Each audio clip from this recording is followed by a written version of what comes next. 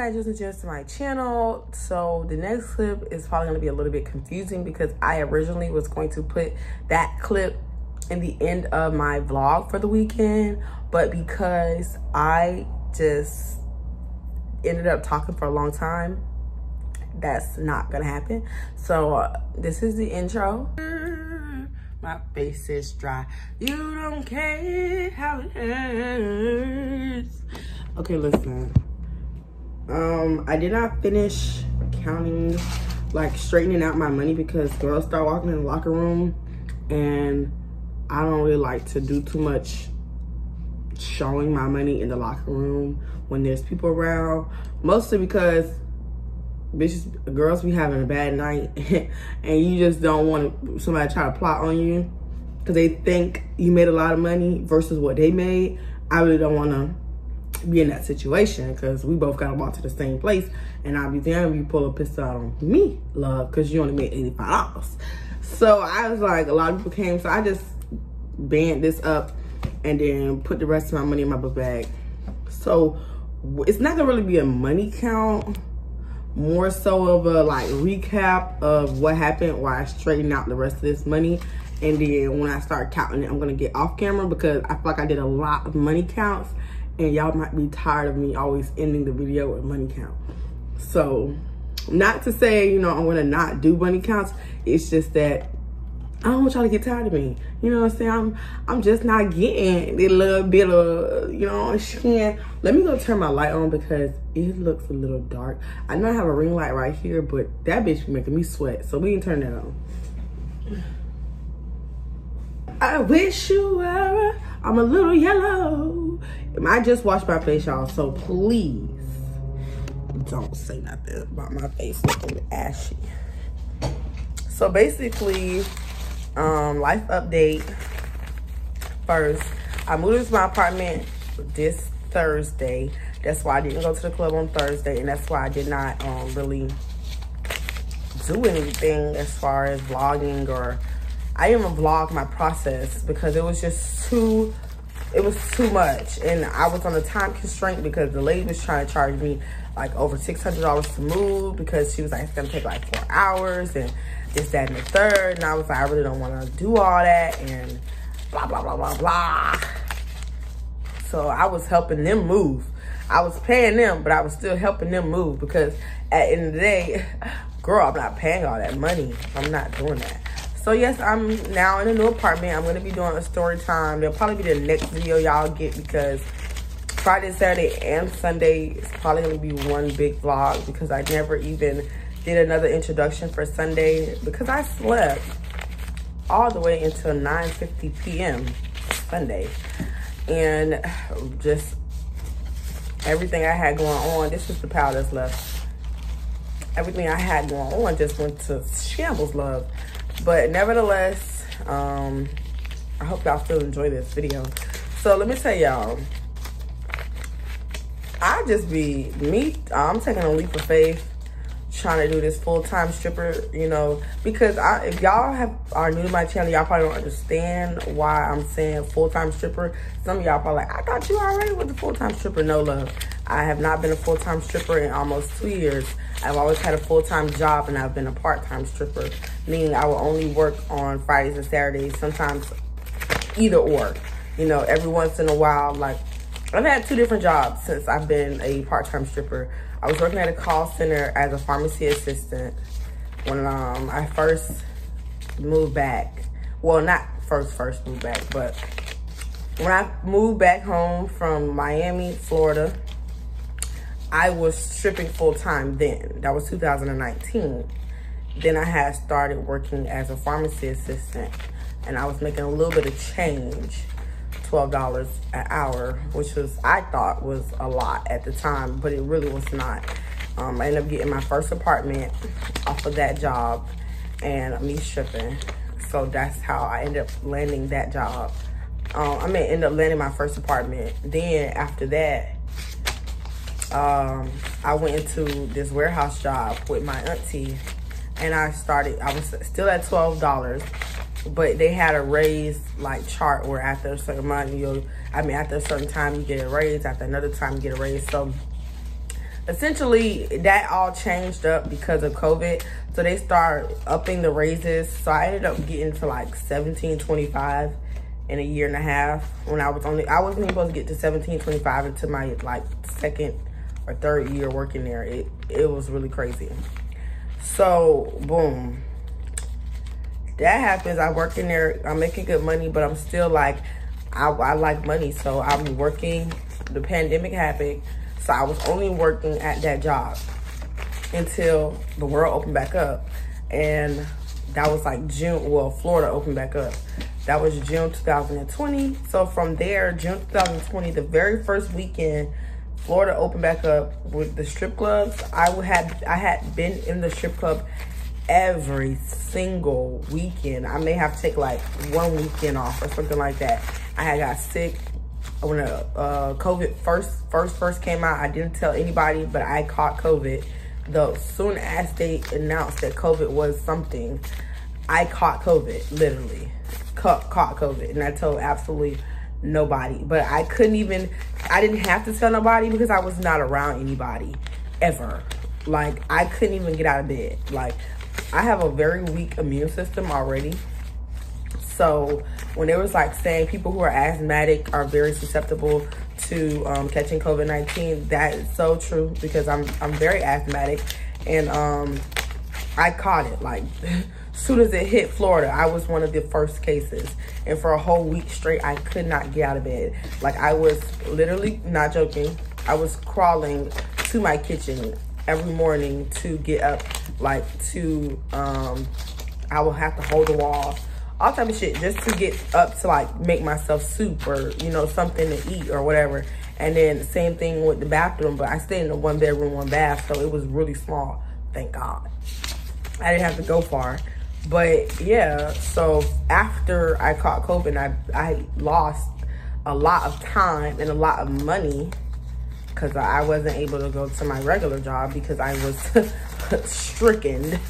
Um, from there, I was like, I'm not ever going to do that again because I was just working that job and I had no, they weren't paying us at the time when you caught COVID because so, it was so new. So I was out of work almost two weeks. Um, and I did not get paid for any of that. No, I was out of work for a month. Like a month. They tried to keep it to like two months and they did not pay me not one dollar. And I almost like, this is before I was really saving my money for real. Literally almost like lost everything I was working for. So I said, I'm never gonna, no. I'm never gonna let that shit happen to me again. So this is what it looks like. It may be $300. These are new fresh bills. So I ended up, when the world opened back up, I said I'm gonna work um, on the weekends. I'm gonna strip on the weekends because the weekends are the better days anyways. So I'm gonna strip on the weekends and I'm gonna go to my regular job on the weekdays. I work five days a week and I'm off too. So we're gonna just work every single day. And I worked every single day for like a couple that y'all know I would say, oh, I'm not gonna go to work tonight. I'm a little tired. I'm exhausted or whatever. I wouldn't, you know, every once in a while. But if I wasn't working seven days a week, I was always working six days a week. Like even I had, I used to not work. Like my period landed on the weekend. If it would come on that Friday or Saturday or that Thursday even, I wouldn't go to the club that weekend. But for the most part, I work. You was if you take away every day I could not work after we, the club opened up, it'd probably be like maybe three weeks, maybe a month at the most. Most. Dang, braces, you got me talking crazy you know, at the most, maybe 11 months is how much, I mean, at the least, full 11 months, I worked every single day. And so I was, I was at the point where I saved up, you know, I met my, my first goal I put aside for my savings account. I met that first goal, created a second goal, and I'm really close to it. It's very feasible. But the thing about it is I started to get burned out.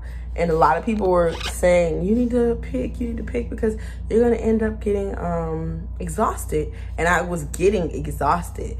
But the thing about it is I wanted to hold on to that job because I'm very, I, I, like money, you know what I'm saying? And so I was like, I can do it, I can do it. But there be days I'm at literally at the club about to fall asleep because I that that other job was a work to completion. So there's times I'm doing 11 hour shifts, 12 hour shifts back to back to back for five days. And then I wake up, start my day very early on Friday because at the club, yeah, your shift might start at 9, 10, but your day start at 9, 10 a.m. You know, you got to get stuff done. You got to be in preparation for the club because before you know it, it'll be 8 o'clock at night. You know what I'm saying? So there'll be times where I wouldn't even get like maybe four hours of sleep and I still would go to the club and then I would go to the after hours and then I'll go to sleep like 6, no, the club was 6, 7, 8 o'clock in the morning and I would be back up and woke at 12 Saturday do the same thing, get home about seven, maybe eight o'clock in the morning after counting my money. And then I would have to, you know, go to work that day at like, leave for work like at 4 p.m. So I would get up like maybe 12. Sometimes I would sleep all the way until like 30 minutes before I had to clock in and I would be rushing to work.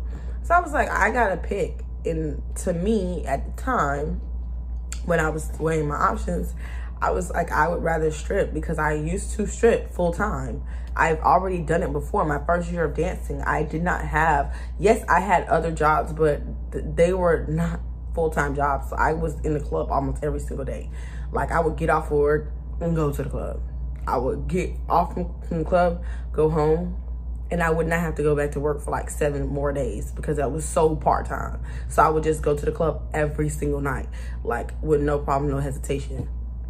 And so I'm like, I, I have done it before, you know what I'm saying? So let's try to do it again. And that's when I said, I'm gonna, I'm gonna pick the club because the day, when I have really good weekends, I'm making like, y'all seen, in three days, I can make over $2,000. At, at my regular job, it takes me two weeks to barely get $2,000 after taxes. There's been weeks where I work 40 hours. Well, this is back when I was like making $13, $14, but I would work 40 plus hours and my check after taxes would be like $1,100, $1,200. And I'm like, bro, that's what, 10 days of work for not even my weekend. Like, you know, there's slow weekends, of course, but now I'm making $1,500 in two days, $1,800 in three days, you know, $2,000 in three days. Like, bro, I cannot keep killing myself. I would rather go ahead. I'm sorry I'm making this video so long and rambly, but a lot of y'all did ask like, so I might just make this part, um, it's on video because this is 12 minutes, what the freak? So basically, I'm, I'm just gonna go ahead and just like take a leap of faith is basically what I was trying to say. Like, if I say I'm gonna give myself a month, really I could give myself a year because that's how much money I saved up compared to how many bills I have. I could stay out of work and just strip. But see, I would never run out of money because I'm still making money at, over the weekend. So, but I said I'm gonna give myself a month. That's four weekends, four weeks, and try to work weekdays and weekends to see how much money I can make in you know a week and give myself a schedule that works for me as a dancer and see if it's worth it. If it's not worth it, if I feel like I'm losing money, if I'm getting behind on bills and stuff like that, then go ahead and just get another job. It's not, every time I drive somewhere, it's always a now hiring sign. So I'm at the point where I don't even care if it's a little cute little part-time job, you know, some, something 14 $15 an hour. That's cute. You know, I can do that and still, you know, work part-time there and, and strip, you know, and script you know, and stuff like that. So, you know what I'm saying? That's just kind of the goal right now. But nevertheless, we still in the, this is week one because it's only the first week of August of the experiment. Technically week two because I came home last week from Mexico. But I only ended up working after hours Friday. And I worked Wednesday and Thursday when I got home. So, um, I think I made $500 for those three days. I well, what is it called? Retention wise, 300, well, 200, because I made 100 and some change on Wednesday, 100 and some change on Thursday. Both those days I used the change to pay for house for the next day. So I retained 100 from Wednesday, 100 from Thursday, and then I didn't go to work Friday. I overslept. And then Saturday, I ended up only going to after hours and I made like $300. So I deposited $500 on that Monday. But this is my first actual like, okay, weekend of August. So we starting here. So far, the previous two days, I've already made over a thousand dollars, which it will be in the now previous vlog. previous vlog. But yeah, and um I'm gonna cut this, make an intro for this, and then make the outro for the other video. Okay, hold on. So I hope everybody enjoyed my video. If you do have any questions, comments, or concerns about what I'm saying, please, you know, drop a comment in the comment section. Subscribe, hit the, the bell. And then if you need any advice, any list of black clubs in Tampa, inbox me on my stripper Instagram. I cannot tell y'all um, tell y'all that enough. Do not write me on my personal page because nine times out of 10, Instagram is gonna default your message. So check the description box and it's there request my page, still write me because I don't go through my requests weekly at all. But I do go through all my messages in that stripper Instagram solely so that you guys don't be waiting around. So yes, I hope you guys enjoyed it. And I love y'all so much. And like I always say, until next time, Jewels and Gems. Peace.